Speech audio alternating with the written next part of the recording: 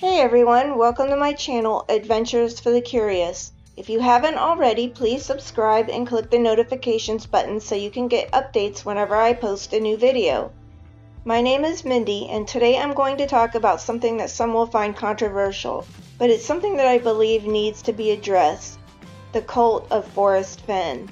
The word cult summons disturbing images of brainwashed people following their leader blindly toward inevitable doom. Jim Jones, David Koresh, Marshall Applewhite of Heaven's Gate, and L. Ron Hubbard of Scientology are all well known cult leaders who have deceived many people. Many people have even died in their pursuit of the enlightenment those cult leaders offered. When you hear the devastating stories of those who have escaped such cults, you can't help but wonder how they could be led to believe such obvious baloney in the first place. Well, the mind exerts a powerful influence over your actions and beliefs, and successful cult leaders have learned how to manipulate minds in such a masterful way that you don't even realize you're being led astray. Intelligent people are not exempt from this type of manipulation as you'll see in this video. Although many cults involve false religion, not all of them fall into that category. Today we're going to take an in-depth look into a cult of another kind. Now, for the controversy. Ready? I am. Let's go. Forrest Fenn is a very wealthy retired fighter pilot and art dealer who allegedly hid a treasure worth more than $2 million somewhere north of Santa Fe in the Rocky Mountains sometime in 2010. He wrote a memoir titled The Thrill of the Chase and told the public on several different media outlets that the book contained a poem which contained nine clues that, if followed precisely, would lead a lucky finder to the treasure. On June the 5th of this year, Forrest Fenn announced the treasure has been found and retrieved, but he refuses to provide any information regarding the answers to the clues or as to who found it, simply releasing a press release through the treasure hunt's official forum, DaleNeitzel.com. Additionally, he has now confirmed the treasure was found in Wyoming. About the searcher, all Forrest has said is that he didn't know him and that he was from back east. The aftermath resulting from the end of the chase has resulted in chaos in the search community, and at least one searcher sadly committed suicide when Forrest dropped the bombshell press release. The announcement left searchers confused and unable to find closure, for it seems as though they will never know if their hard work and countless hours spent attempting to solve the poem brought them even close to finding it themselves. They will never know how close they were to solving the poem, and searchers are justifiably upset. For the most part, I eased back from the chase about a year ago because of disturbing things I'd learned about Forrest and disturbing things I was experiencing from other searchers obsessed with all things Forrest Fenn. I publicly published that Forrest Fenn had, either accidentally or purposefully, created nothing short of a cult and a dangerous cult at that. I stand by that assertion more than ever now as I witness the end of the chase. Before we delve into this hotly debated topic, let's take a look at the definition of a cult. An instance of great veneration of a person, ideal, or thing, especially as manifested by a body of admirers, or a group or sect bound together by veneration of the same thing, person, ideal, etc. For those of you familiar with the thrill of the chase, do you see any similarities between those definitions and the community of searchers involved in this treasure hunt? This treasure hunt supposedly created to give people hope? Now, from here on out, I'm going to provide facts that support my theory that many of the searchers of this infamous treasure were, and still are, members of this cult, many without even realizing it. Forrest stated he created the chase in part to give hope in a time of economic recession. In a Huffington Post article by Margie Goldsmith in 2013, Forrest says, This is going to get me in trouble, but I have to say it. The following words have nothing to do with the treasure chest I hid. Searching for hidden treasures in the mountains is enjoyable. It brings families together, it promotes bonding. During rough economic times, it, the treasure hunt, provides hopes and dreams where otherwise they might be lacking. Wait, what? Those words have nothing to do with the treasure chest? Is he saying there's some other purpose it serves? Then, a year later, in a February 2014 article written by, and I know I'm going to probably butcher this name, Anne Kane, entitled There's a Fortune Hidden Somewhere in the Rocky Mountains, and this millionaire is the only one who knows where it is. Forrest again says, I wanted to give people hope and something to believe in.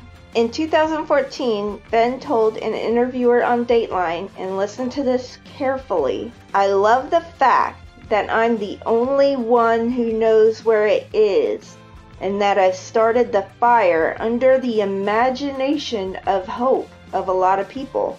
Did you get that? Who do cult members follow? They follow someone who supposedly holds a higher knowledge and offers hope. But then says here, the imagination of hope. What does that even mean? Is he in fact saying that it's a false hope, not likely to be realized? Is he saying that the hope searchers feel is just their imagination? Sure sounds like it. Combine that with his quotes, where he said he's fine with the treasure not being found for a thousand years. And we begin to see a shadow looming on the edge of the shining pure character of Forrest Fenn that he has led people to believe in. In an interview on New Zealand radio in 2019, Forrest admits that in regards to someone finding the treasure, you know, I'm not thinking about spring break or a Sunday afternoon picnic looking for the treasure chest. I'm thinking 100 years from now or a thousand years from now. So, if he hid the treasure chest thinking it wouldn't be found for at least a hundred years, how does that mesh with his hiding the chest to provide hope? Okay, so now we've established that Forrest said he created the chase to give people hope, yet also didn't think it would be found for at least a hundred years. Hmm. Now, let's take a look at the hallmarks of a cult. The leader is a sole authority. Cults are formed when a charismatic person claims some kind of privileged or supreme knowledge. In Forrest Fenn's case, he may have primed the searcher's subconscious by including this iconic photo of himself on the inside back leaf of the dust jacket of his memoir, The Thrill of the Chase. Forrest certainly knew what he was doing by cropping this photo in this way. It is distinctly reminiscent of historical artistic depictions of saints and holy people. We know Forrest is aware of this because he has posted about his interest in Russian iconography as well as other religious artifacts and art. Anyone familiar with the forums created specifically for this treasure hunt know how often it's said, if Forrest didn't say it publicly, it's not true. Questioning Forrest's character will also earn you a swift, merciless attack, even if your questions and concerns are valid. A few women have come forward speaking about Forrest's inappropriate behavior with them. These women were then crucified on and banned from the forums, sent death threats via anonymous emails, and subjected to harassment, ridicule, and outright libel. I know of many women who have had similar experiences with Forrest but are too frightened to come forward because they have seen how anyone who questions Forrest's character are treated. Take a listen to an excerpt of an excellent podcast I recently listened to when researching this video. This guy is pretty good, and I'll link his channel in the description. And then the last like minute, I'm like, I think it's a hoax. I don't think he really buried it. I think he just wanted people to read his memoir, and I think people's biggest fear is leaving the world with no legacy. But I got some very, very stiff resistance to the Forrest Fenn story. I, I got a lot of pushback on that one. Now, I'm a big boy, I can take criticism, whatever. But the force and the amount of feedback I got on that one in a very, very short amount of time was startling. I, how dare I insult their leader? How dare I question the word of such an honorable man? Do I have proof that he didn't bury the treasure? If I don't have proof, then I can't say. How dare, dare I question the word of a man who honorably served our country? I am nothing. I am a couch potato. I think they called me that. Is that even still a word? But, anyways, it was startling. Now, I've gotten pushback on other videos before. Generally, I can expect it coming. Anti cosmic Satanism, I got a little bit of pushback on. And that was expected because I was like, I'm talking about someone's belief system. I'll probably get some pushback. And they did. They called me an idiot and said I should get punched in the head. And that was it. A couple comments over the course of six weeks. And that's when I realized something. This isn't a treasure hunt. This is a cult. The cult of Forrest Fenn. They believe in him so much that the second anyone questions it, especially an outsider, they come out with knives ready. It was incredibly bizarre. Wow, but isn't he totally right? I mean, it's undeniable that this happens. The proof is literally all over the forums. It is also well known that Forrest Fenn has appointed certain leaders in the chase. I know this because I was once one of them. To these leaders, he promises benefits such as television and documentary appearances and other perks. For me, it was books. As long as I forfeited all of my critical thinking and excused his bad behavior and defended him against those who would question him, I would receive books. He learned of my great love for books early on, and eventually I was promised the very first copy of the Gaspard book as it came off the printer. I did eventually receive that book. He also offered me TV and documentary appearances, but I turned most of those down. So, some of these leaders are still in power today, and if they want to keep the authority they have, they must defend Forrest Fenn at any cost. They are also the ones you'll find praising Forrest the most. To them and members of this cult, it doesn't matter how much evidence is presented to the contrary, Forrest Fenn is always right. When the evidence continues to mount, these leaders go into destroy mode and will start working behind the scenes to utterly destroy the reputation of those who say anything against the object of their worship. Which leads me to number two. Cults delegitimize its former members. Cult members don't like anyone to leave, since most who leave have discovered the truth and are disenchanted with the whole thing. So, in order to protect Forrest Fenn's integrity, cult members perpetuate a false narrative that former members were bitter, with sour grapes, angry, dishonest, or immoral. In the case of Forrest Fenn's cult, I experienced this firsthand. From the beginning, this chase was a hobby for me. I worked on the poem and clues in my spare time for fun. I was never obsessed with finding the treasure, and had said several times I probably wouldn't. I live on the other side of the country, and I couldn't abandon my responsibilities to my mother, who has since passed away, and my children. When I learned about what was going on behind the scenes in this chase, and was positive other women had experienced what I had, I spoke out. The blowback was immediate, and many members attempted to shun me. A few hateful people even began to fabricate complete lies and spread them as fact, and continued to do so even after I had proven that they were lying. And amazingly, they still are. That, according to experts who study cults, it's exactly what cults do. They will do anything to deflect negative attention away from their leader and instead work to make the former member look like the one who played foul. The group shames anyone who veers from the path of the object of their devotion. Cult leaders trap members in shame cycles by imposing abnormally strict codes of conduct. Forums have both written and unwritten rules. They won't outright say you will be banned for questioning Forrest Fenn, but you absolutely will, as many have experienced. In my experience, I've found if you question Forrest's character on a forum, you will be immediately attacked. If you defend yourself, you will inevitably be banned for creating drama. Let's listen to another portion of the Dead Rabbit Radio podcast. It is a cult. If you question it, you are immediately castigated for it. If you are an outsider, you're a non believer. See, I had to prove that the treasure wasn't buried. It wasn't up to them to prove that it was. And that's that's child logic.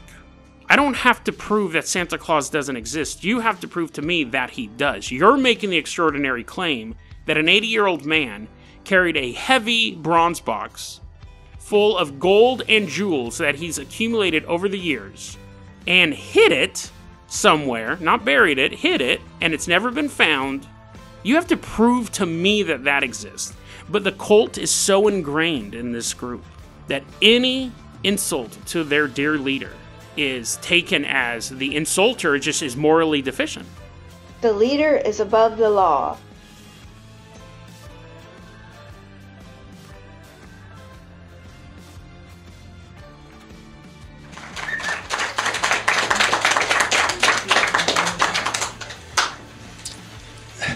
Well, I always thought I deserved a throne. Cult leaders like Forrest Fenn exploit their followers. When I first started emailing Forrest Fenn, he would send out what I call feeler emails, where he questioned me about my relationships and life in general to see if I was the type of woman he could successfully take advantage of. I'm not going to go into the details of my experience, for here is neither the time nor place for that. But I will say that I acquired a great deal of proof over the years that I believe will be revealed when the time is right. Cult leaders, when confronted with their impropriety, will not confess, but will deflect or redirect attention. When I confronted Forrest publicly, he countered with a scrapbook on Dale Neitzel's blog, which he titled Compensations for Being Quiet. At the time, everyone who is active on the forums realized that scrapbook was directed at me. One article I read while researching cults said devoted cult members will perform mental gymnastics to justify or ignore the leader's behavior which is exactly what happened when I exposed how Forrest Fenn behaved behind the scenes. No matter how much evidence I presented, they claimed it was either photoshopped or that Forrest's email was hacked or that the evidence simply didn't exist, choosing not to read it. Yes, that's true. I've offered several of these cult members access to my email account to read the entire chain of emails between me and Forrest Fenn, and they either said no or evaded the offer altogether. They didn't want to know the truth because it would ruin the chase for them. The leader uses thought reform methods. Well, we're speaking today with the treasure hider and uh, definitely a guru to many, many treasure seekers, Mr. Forrest Fenn. Now, at one point you said, and it's written on one of your bells, it doesn't matter who you are, it only matters who they think you are. So, Forrest, who are you and who do people think you are? I hope nobody ever finds out. Ah, the real Forrest Fenn. I believe in karma and some of those things. I'm, I'm not a religious person, but I'm probably the most spiritual person around. Forrest uses thought reform methods to indoctrinate his followers. You think that sounds crazy? Well, what is indoctrination? It's repetition. Forrest uses repetition to indoctrinate his followers to his way of thinking. How often is the phrase, it's not who you are, it's who they think you are, repeated? It's repeated way too often all the time. How many members have really thought about that quote and what it means? How many choose to ignore how troubling that quote really is? Typically, cult leaders will repeat phrases over and over to imprint them into his followers' mind, thereby preventing them from critically analyzing complex issues. The leader demands secrecy. I can't tell you how many times Forrest has asked me to keep his secrets, or to keep our conversations a secret, or to keep my visits a secret. He has told me not to talk to other female searchers accusing them of making up lies about him. It is beyond bizarre how he demands secrecy all the time, but I shouldn't be surprised because that's the key trait of a cult leader. Sadly, several of Forrest's followers do have a lot to lose if Forrest's behavior is ever made public, and therefore they double down in defending him. Many have participated in activities that would potentially destroy their families, and Forrest knows this and uses it to his advantage. This is the way a typical cult operates, people. Forrest has been shady from the start and is quite proud of using his wordplay to throw the fact that he is indeed a fraud into searchers' faces without them even realizing it. In fact, he words things in a way that entices his followers to believe the opposite that he is basically a saint that can do no wrong. Even Dale Neitzel, Forrest's highest ranked official, warns potential members of the cult of Forrest's dubious wordplay. The owner of the official Chicks website cautions us to pay close attention to Forrest's words because he is often not saying at all what you think he is. Wow! Just wow! That's probably the only instance of a cult leader warning potential cult members of what they're becoming involved in. The media has recently picked up on the cult like aspects of this treasure hunt. More than a couple articles have noted cult like aspects, such as the Fenn Shrine. So every year, there's a Fennboree, where fanatics camp out together to admire Forrest Fenn and share stories of their experiences. I don't see a problem with the gathering of friends, and I have enjoyed the two Fennborees I've attended. The Shrine of Fenn is the centerpiece of the gathering, where searchers leave offerings to Forrest.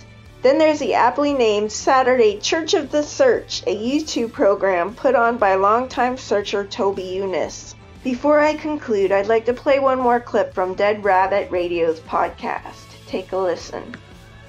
So I found a list of signs of a cult. And out of the 15 signs, this group has nine. The group displays excessively zealous and unquestioning commitment to its leader. Questioning doubt and dissent are discouraged or even punished. The group is elitist, claiming a special exalted status for itself. See, they're smarter than us. A lot of times on the websites, they'll be like, people who don't believe us just think that they they're smarter than the clues. They should be able to find it. If they can't find it, then then it doesn't exist. No, it doesn't exist because it doesn't exist. The group has a polarized us versus them mentality. Yeah, that's true. Subservience to the leader or group requires members to cut ties with friends and families. Not so much, but and radically alter the personal goals and activities they had before joining the group. Go to the Reddit thread for Forrest Fenn. It's crazy. People plan their lives and they'll be like, oh, I was up so late looking at my newest solve. That's what they call it. Like, I was looking at my solve, and people will post there, like, hey, I think I know what this part of the clue is. And oh, you're an idiot. You don't know what that is. It's this real insular group. And they, they'll talk about, man, I've wasted so much time. Sorry, not wasted. I've spent so much time. Well, I think it's waste, but I spent so much time working on this and blah, blah, blah. so sad.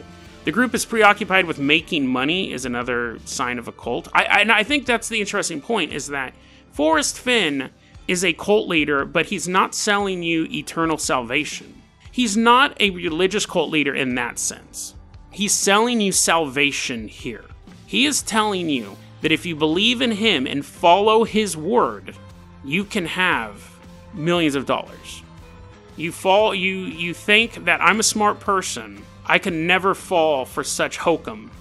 And then someone sells you something and it makes you double down because you've already spent your time and your money and you believe in him so much. You can't question it because if you question it, you're questioning the last 8 years of your life. I just thought it was interesting because again, I didn't I, I it was a it was it, it, it was a starter story. It was a story I was like, ah, oh, this will be a fun thing to talk about. And it exposed something dark and raw in a lot of people. So, with no rewards for searchers' efforts forthcoming, no confirmations that a chest was even ever hidden, no revelations of how close searchers were or weren't, people are feeling cheated and empty. That is one very sad hallmark of a cult. When the leader ultimately fails them and the realization hits that things were never as they seemed, there's nothing left but an empty, hollow shell. Everything they had invested their hearts, minds, and souls in has evaporated into smoke in the blink of an eye. It's gone. It's over. It's done. And you get nothing in return for your devotion. As Forrest quoted in his memoir, Fools, your reward is neither here nor there. Thanks for watching everyone. I know this video will be controversial, but it's something I feel I needed to say.